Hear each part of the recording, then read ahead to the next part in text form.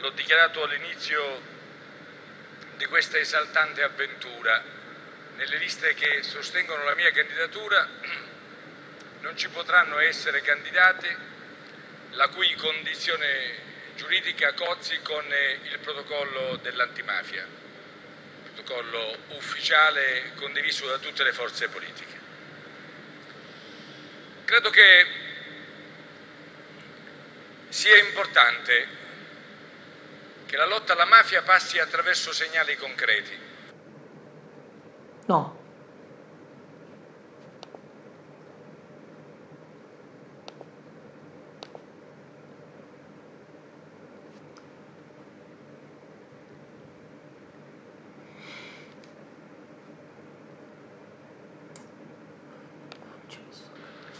Io sono stato presidente di una grande provincia del Mezzogiorno dopo Napoli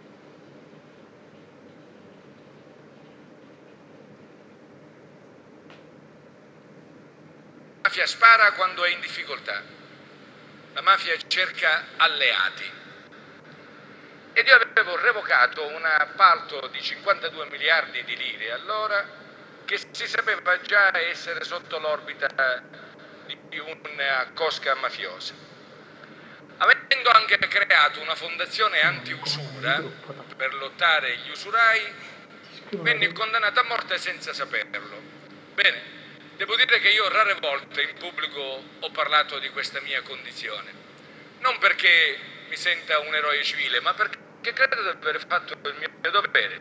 Sapevo che assumendo la presidenza della provincia di Catania dopo 25 arresti eccellenti avrei trovato un terreno insidioso. Bene, cosa voglio dire? Voglio dire che il patto fra potere politico e potere mafioso in Sicilia è antico, nasce nel 1943 e da allora si è articolato e si è consolidato sotto varie forme, in varie maniere.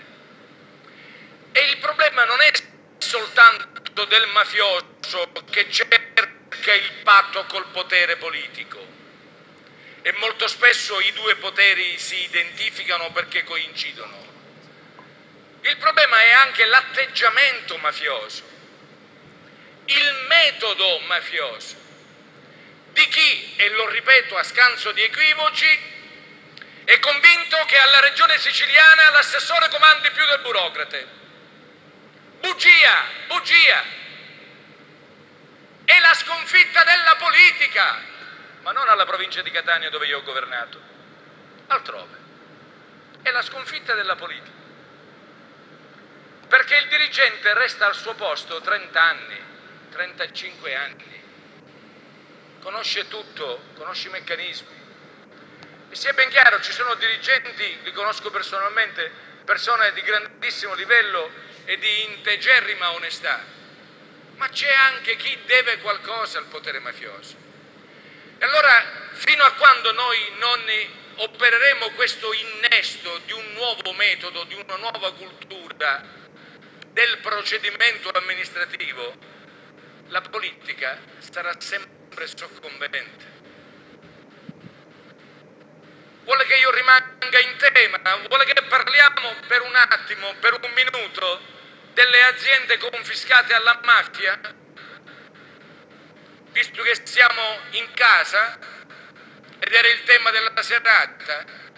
Bene, 1540 aziende secondo l'Agenzia Nazionale per i Beni Confiscati e Sequestrati dalla Mafia. 1540 aziende. Di queste 8 su 10 in 2-3 anni muoiono. Vivevano quando erano nelle mani dei mafiosi. Nel momento in cui passano sotto il controllo dello Stato non riescono più a reggere il mercato. È la grande, inquietante domanda che tutti ci dobbiamo porre, ma è anche la testimonianza concreta di come una parte del mercato sia drogato, una parte del mercato sia con le regole alterate. E allora invece di chiedere all'azienda confiscata alla mafia come fa a pagare il conto con la banca è stato richiamato da Fava questo concetto che io condivido. Invece di chiedersi perché l'Enel costringe l'azienda a chiudere se l'azienda non può pagare 20-30 mila euro di bolletta arretrata, occorre che lo Stato intervenga per consentire a quelle aziende, attraverso una mediazione con l'Enel, con la Serit, con Equitalia, con l'Inps e con gli altri enti pubblici o parapubblici, di addivenire ad una condizione che consenta alle aziende liberate dalla morsa mafiosa di poter restare sul mercato. Non è un problema contabile, è innanzitutto un problema morale, perché altrimenti costringiamo i cittadini a doversi iscrivere al partito dell'antistato, al partito della rassegnazione. Ecco perché io sono convinto, e concludo direttore, che sarà una battaglia dura quella di sconfiggere la mafia, dura ma possibile. E per farlo serve una serena campagna di persuasione, di informazione e di sensibilizzazione. Per farla occorre che il governatore non sia ricattabile, non sia ricattabile dai partiti e ricattabile dalle organizzazioni e dai dirigenti. Ecco perché sono ancora convinto, e lo dico con grande serenità, che questa battaglia elettorale non si gioca soltanto sul materiale umano, che è quello che è.